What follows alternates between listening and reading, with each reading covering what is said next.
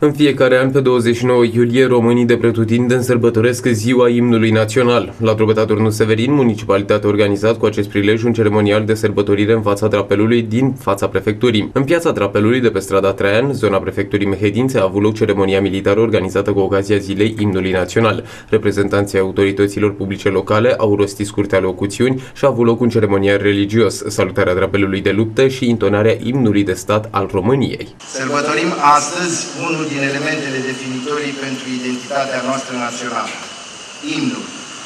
Imn care, așa cum este consimțit în Constituție, alături de drapelul tricolor, stema țării și sigiliul statului, reprezintă un simbol al valorilor și idealurilor poporului român.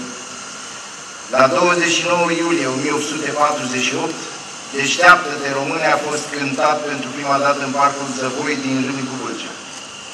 La originea imnului național al României se află poemul patriotic Un răsunet de Andrei Mureșanu, publicat în numărul iunie-iulie 1848 al suplimentului Foaie pentru minte, inimă și literatură pe o melodie culeasă de Anton Pan.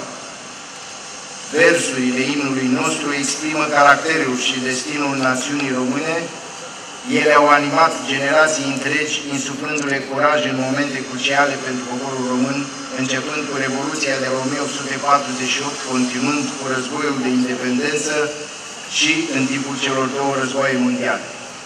La ultimul eveniment istoric important al țării noastre din data de 22 decembrie 1989, în timpul Revoluției anticomuniste, mase mari de oameni au cântat Deșteaptă-te române.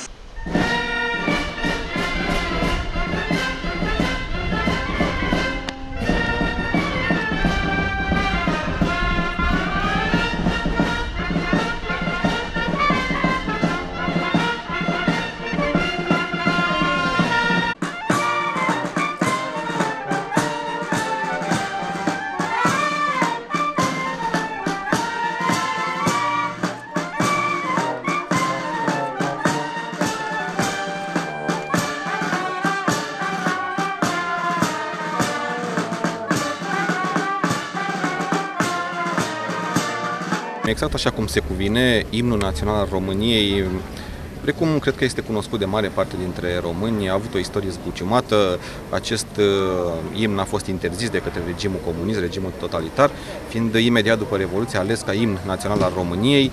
Uh, și astăzi, ca și în viitor, cred, mult timp de acum încolo, uh, versurile imnului național de șapte române vor fi mai mult decât actuale și vor în permanență vor vor reprezenta ceea ce este poporul român astăzi. Uh, trebuie să ne cinstim imnul național și mă bucur că și la Drobeta Turnul Săvim am marcat acest eveniment deosebit pentru noi toți. În primul rând trebuie să inducă sentimentul patriotic. Eu cred că fiecare, pe fiecare român trebuie să-l caracterizeze acest sentiment patriotic. Mai mult pentru noi cei din structurile militare și din structurile de ordine publică este un imbold de a-ți face datoria așa cum se cuvine în situații deosebite și nu numai în situații deosebite.